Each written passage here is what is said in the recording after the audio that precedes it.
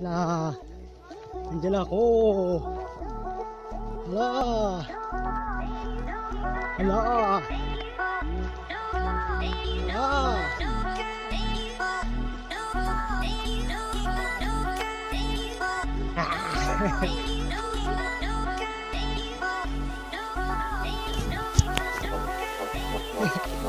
Nadapa. Nadapa.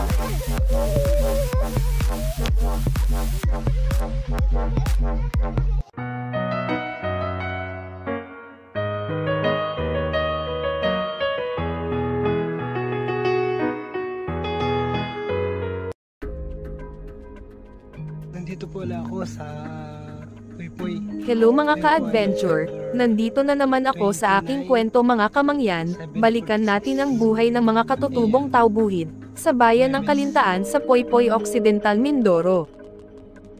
Kung napapansin niyo po, yung ano niya, yung hanging bridge, ano na, nasira na.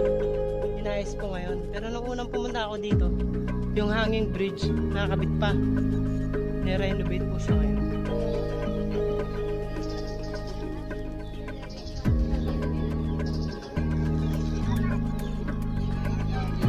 Hindi kaya.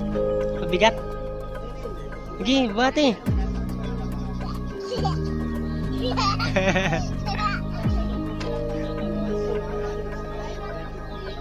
Bati. Dito.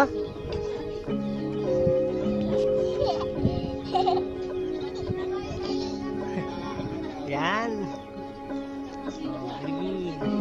Mangyan ang pangkalahatang tawag sa sa buong lalawigan ng Occidental Mindoro sa iba't ibang panig.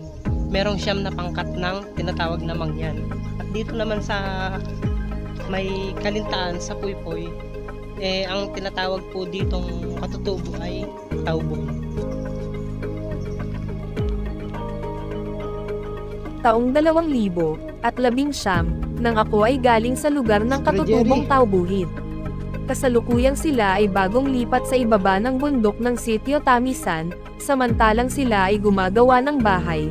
Ako naman ay bumisita sa kanila at nakichika sa mga bagay-bagay, charot.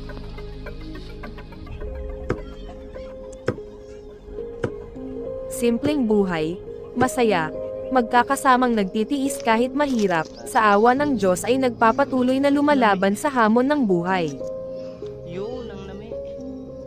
May Ganito ang aking natunghayan dito sa bundok, may alaga din silang kalabaw na panggiik, at baboy, pero di maikakaila ang hirap ng buhay, sa tuwing daraan ang mga buwan ng Hunyo, Hulyo, Agosto at Setyembre pati na rin ang October, sa mga panahong ito talagang nahihirapan sila, kaya naman sa awa at tulong ng Diyos sila palaging umaasa.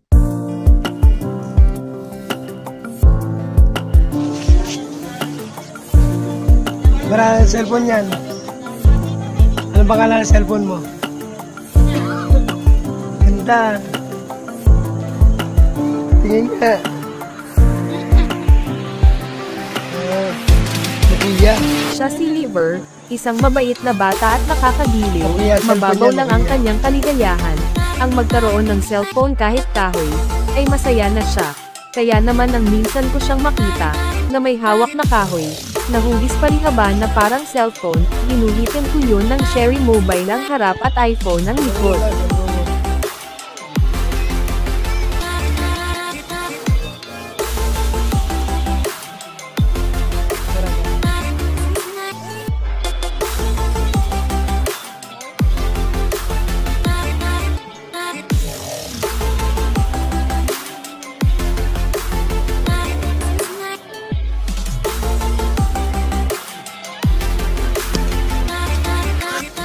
Ano masasabi mo sa bago mong cellphone?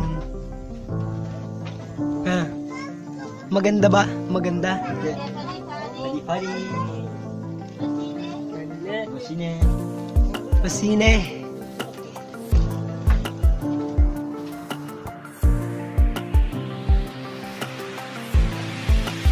Yan ang kinalulukuhan ni Dodong. Nagpuyat sa gabi. Sa cellphone. Higa. Ba yun? Dodong. Ako'y may kwento. Isang batang si Dudong. Napupuyat sa gabi sa pagsa-cellphone. Dahil bago ang cellphone niya, pinagpupuyatan. Laging busy at meron pang katawagan na babae.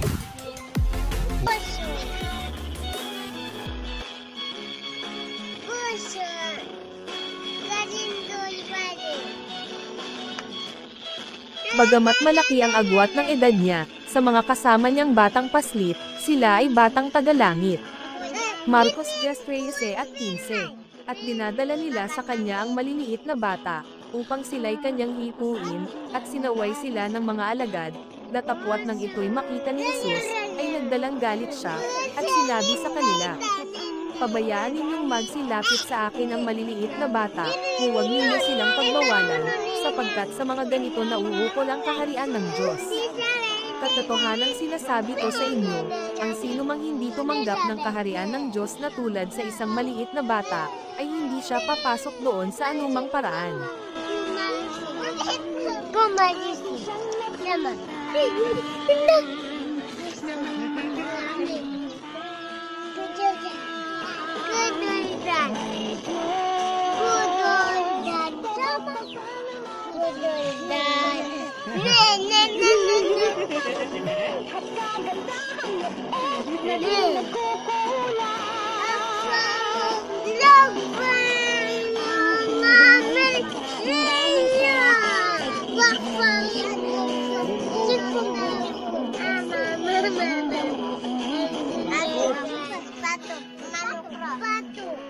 Sadyang ang mga katutubo ay mahiyain, pero nababakas sa kanilang mga mukha ang pagiging masayahin, sinubukan ko silang pagkantahin ng kanilang sariling lengguwahe, at Ano, i-translate ito sa Tagalog.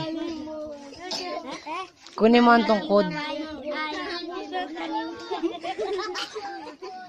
Kahit na sila ay mahiyain, Ay, sadyang ang mga bata ay may kakulitan din, pero kahit na sila ay makukulit, basta nakikita natin na sila ay masaya, ang mga magulang lang, ay higit na masaya. Nakakatuwa silang pagmasdan. Mga ilang sandali lang ay napilit ko na din silang umawit.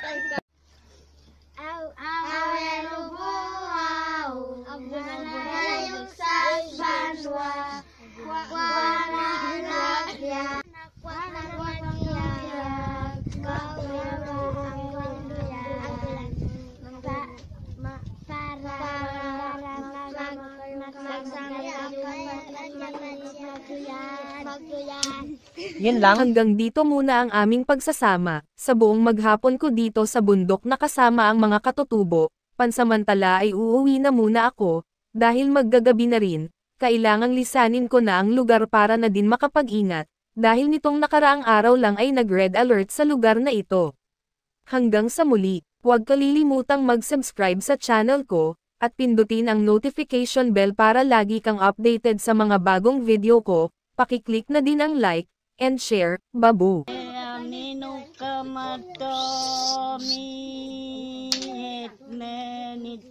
Agulitwaini hayaro siring kaya bitak sakbo sadbayo bi sadbayo bi